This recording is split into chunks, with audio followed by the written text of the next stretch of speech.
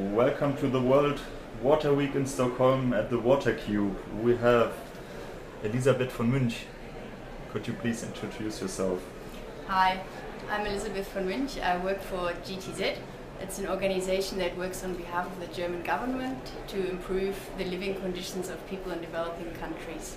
And the reason why I'm here is because we had um, a meeting on Saturday from the Sustainable Sanitation Alliance um, a lot of people come to the World Water Week, so we organized our meeting just before the World Water Week to catch these people. So, what does the Susana does?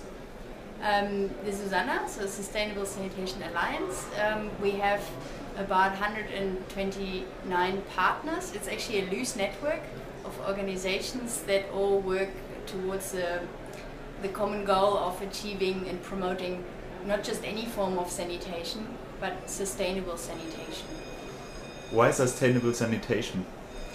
Basically, not much, not enough money is invested in sanitation, and we want that more is invested. But we also want to make sure that these investments have an impact and that it's not wasted money. And this can only be achieved if we look at ways of doing it in a sustainable manner. And what is your message to the visitors of the World Water Week? Well, one point that I'd actually like to make is this is a nice event, but there's many people around the world who can't afford to come here. And we should look at ways of making it accessible to them. So in this Susana, we actually use Twitter to let people know the proceedings of the day. It's, we put the minutes on Twitter. We also film video footage.